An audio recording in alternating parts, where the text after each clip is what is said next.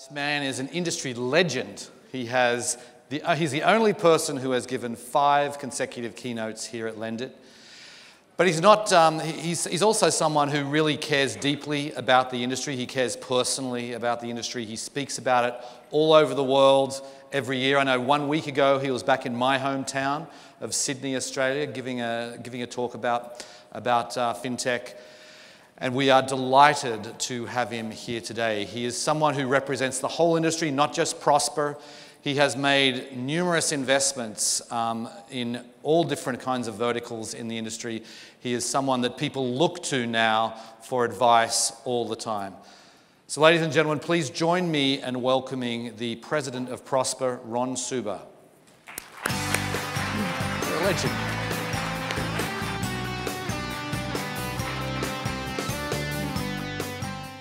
You very much. It is absolutely my honor to represent Prosper and my privilege to represent you all, this industry, and what we're doing. As Peter said, I gave 80 presentations around the world last year and talked about how we're modernizing and changing and improving banking and lending and finance and wealth management. And we're also doing brand new things the world has never seen before we have garnered the attention of the banks, of the exchanges, of the venture capital and private equity companies, and the individuals around the world looking for our solution as borrowers and investors across consumer and student loans and small business and real estate, franchise, insurance, and more. Something happened to me four days ago in Sydney that has not happened in my five years in this industry. I was talking to a very large bank, and he stopped me and he said, I get it. I have the education, awareness, and understanding of what you're doing and why you're doing it. But how do we work together?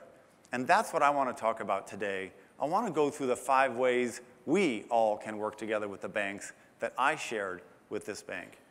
When I talk to people about Prosper and us and you and what we're doing together around the world, I asked them if they missed the ETF revolution. And they say, yes, we did. We thought it was a fad. We thought it wasn't global. We thought it really wasn't a product that would make sense to so many. And I tell these people, don't miss us because we too, you and Prosper, and all of us around the world will be ubiquitous, like ETFs, everywhere, products and solutions. We've heard a lot of speakers today talk about the journey, our journey. And so I'm going to take one minute and talk about this past year. What did it take to go from last year's LendIt to today? It took the patience of a monk. It took the speed and agility and cunningness of a leopard. And it took the stamina of Rocky Balboa. I watched the first Rocky. I watched the sacrifice. I watched the training. I watched the punches he took and the pain. And it was excruciating. But he answered the bell for every round. And so did you, and so did we. And if you don't feel proud about what we're doing here today, you should. We should be energized and excited about the opportunity ahead. Congratulations to everyone in this industry. So I'm going to take a quick look back for those of you that weren't at the original LendIts. What did we talk about? And get into where is Prosper today, where is the banks, and share with you the five things I've learned from the industry in taking a poll of the things we should be working on and thinking about together, and then share with you the one thing I know for sure that I didn't know a year ago. So at the very first LendIt, there were 300 of us sitting in a room and we were trying to explain that we, as a world, were moving from this sharing economy where we shared pictures and emails and photos and music to this access economy with Uber and Airbnb, and that we were the same. We were connecting people for the very first time who never could connect before retail investors and borrowers, and institutions and borrowers. I showed this picture, and I said, don't focus on the little pie. Let's work together and tell our story and make a big pie. And when it's big, we can fight over the pieces. but let's not fight today. And the one thing I said that got picked up in the press more than anything else five years ago was that the competition was not in the room that day, that we weren't competing against each other. We were competing against something called E, A, and U, and that was the lack of education, awareness, and understanding of what we were doing. In 2014, we moved to San Francisco, and we started to talk about the democratization of credit, how we were really helping people with their own balance sheets and their own FICO scores, and that we were kind of reaching this tipping point. Either we were going to make it or not. Either we were going to go big or not. And people kept saying, Where are we? What inning are we in? And I argued that we were really just in the bottom of the first inning, even though people had been doing this business for five years. In 2015, I introduced the concept that each of us, each marketplace, each balance sheet lender, whether you were peer to peer or institutional, we were three legged stools. The right leg was the borrower, the left leg was the liability side, the capital market side, the peer to peer side. And I took a poll and showed the industry's big, hairy, audacious goals, the 10 things that we wanted to do one day. And we did nine of them. You can go back and watch the YouTube to see what they were. But it was AAA ratings, it was multiple securitizations with multiple agencies, it was volume, it was quality, it was making it through an interest rate change and an unemployment change. And that concept of escape velocity that Scott mentioned, absolutely, we were trying to lift off as an industry, as companies, past that point of gravity where the incumbents knew that we were here to stay, that we were big enough that we would, they would care. All right, so quick, last year, for the first time, we saw some skepticism from the press, from ourselves, from the banks, the leverage providers, were we really trustworthy and transparent? I issued the necessary nine for fund investors of the nine things that every investor had to do to be compliant, to really raise assets. And each of those nine things were difficult to do. And you saw some investors struggle with performance given their inability to follow all nine of the necessary things. I also told a story last year about Boeing, and I equated Boeing to us that Boeing in 2013 had the batteries that smoked and went on fire. The stock got cut in half, the press turned against them, this whole supply chain of the airline industry changed. And that industry got together to fix it. So people would fly, would lease, would buy the planes, and the whole ecosystem got together. And we did too, which is another great thing that we should feel proud about the Marketplace Lending Association, and the groups that the small business community has put together have enabled us to heal, to return to the trust and transparency and the promise that we all have given to ourselves, our investors, and the borrowers. So I think we're building an industry that's built to last. This comes from my favorite book from Jim Collins, a famous author, about building to last. And to last, we're going to have to do five things that I'm going to share with you that I shared in Australia to work with the banks. And Scott and Rob and other people have touched on it, but I'm going to go just a little bit deeper. Efficiency and profitability. We must, as an industry, as companies, as platforms, start generating cash. And we must find long term capital. And these are things that, under the new leadership of David Kimball, we've been able to do at Prosper is to become a profitable company, to find the secured long-term capital, and make Prosper a company as part of this industry built to last. Okay, so when I talked to this big bank guy, one of the top four banks in Australia, he said, How do we do this? What are my options? What's the best way? What's the worst way? I'll pick one, just lay them out for me. So here they are. Here's the banks, first of all. And the beautiful thing is, we used to show this slide and point to the slide. And now we can point to the crowd because the banks are here to understand really how to work with us, which of the five ways. So, welcome to the banks. Here they are.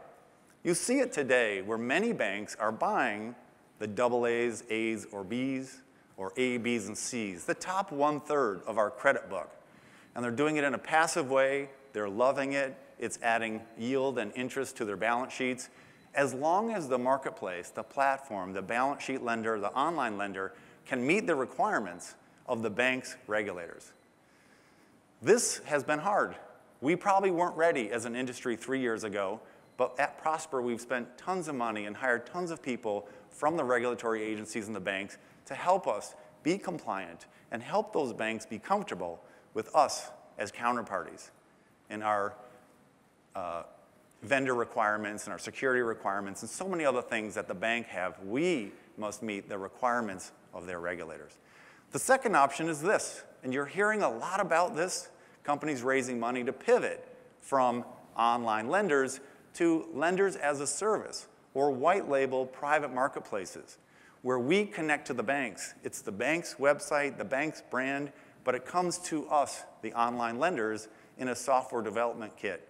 It's our credit model, it's usually our servicing, and the bank funds it, enabling the banks, again, to work with their regulators. You're going to see a lot more from this industry with this. You will see platforms pivot or add to their service, lending as a service. Some banks don't want one or two. They really just want this option. They really just want to be underneath us. They want to leverage our loans. They want to securitize our loans. They want to hold the cash from the people and the institutions and the balance sheet, or just be trustees working with the investors and the platforms. The fourth one is the mergers and acquisition possibility. It's the entrepreneur's dream that somebody, a tech, fintech, or bank acquires these companies and gets the advantages to use their low cost of capital and get all the innovation and the creativity and the brand that we offer. And the fifth one just happened last year. And that's where a bank says, we're going to put up hundreds of millions of dollars, take years, hire hundreds of people, and do this ourselves. How hard can this be? And the reality is, what we do is hard, keeping the legs in balance, in equilibrium, and working every day. So when we talk to banks, these are the five ways. There are others, and there will be other ways. That's the picture I showed the banker in Sydney. So it's been a fascinating 10 years for Prosper. We've had a lot going on. We are building a platform that will last for a long time, a 100 year company. And we're doing it by focusing on risk and pricing and the process, on our operational excellence, our verification and validation and servicing, and our conversion ratio of listing to loan. And we have a mission, and we're driven by that mission every day. And we remind ourselves why we come to work and do what we do. In December of last year, we rolled out PMI 7, the seventh generation of the Prosper credit model.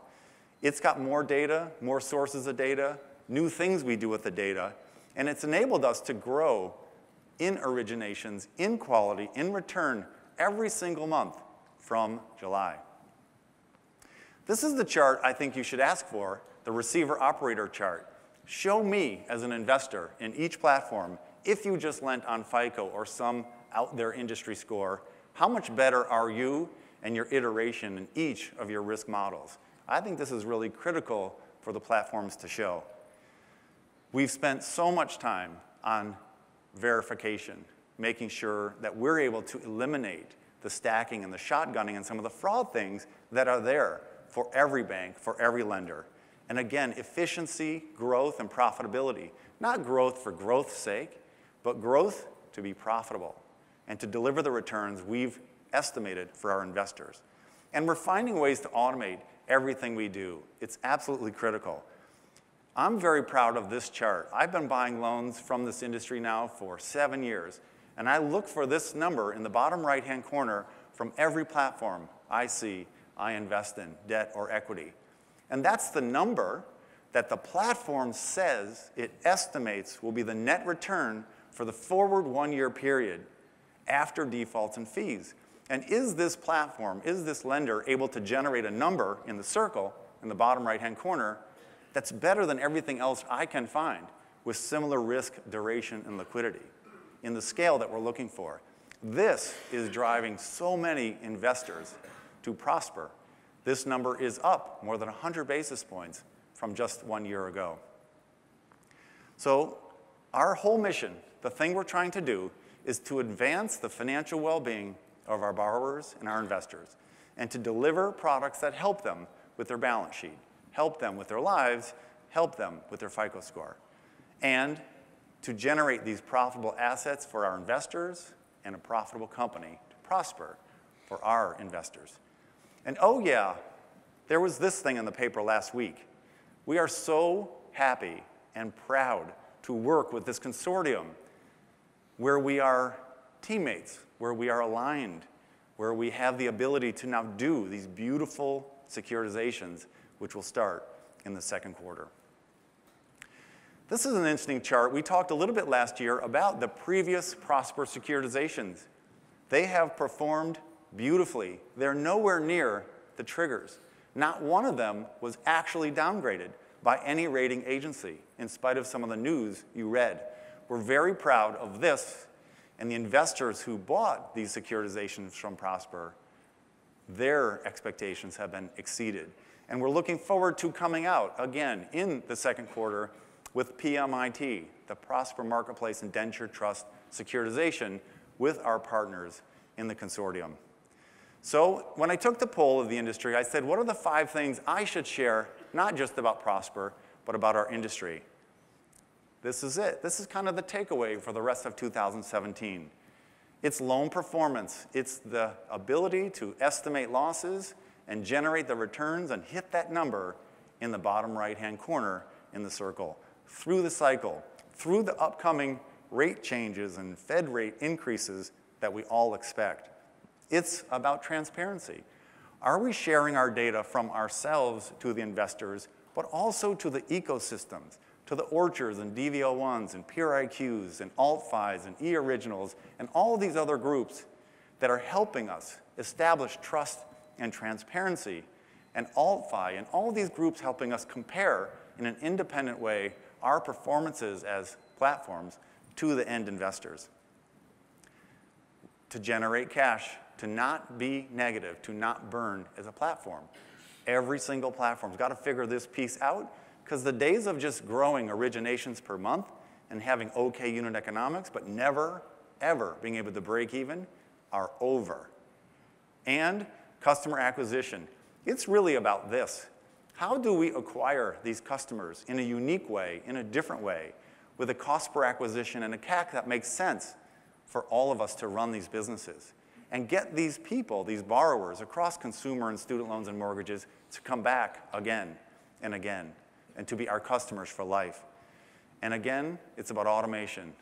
The need to hire people is always going to be critical. We have the best group of talented people at Prosper and in this industry than we ever have but we need to introduce automation even more. So what is the one thing that I can share with you today that I know for sure that I didn't know last year? It's this. It's this quote from Jim Collins about building companies and building industries to last. It's that the only reliable source of stability is a strong inner core and the willingness to change and adapt in everything except our core belief and our mission. What we're doing is not easy. Innovation's really hard, but execution is even harder. I hope you feel the same excitement and engagement and gratitude and pride in what we're doing in our industry. I think one day we will be everywhere, globally, around the world. Let's together build an industry built to last. Thank you very much.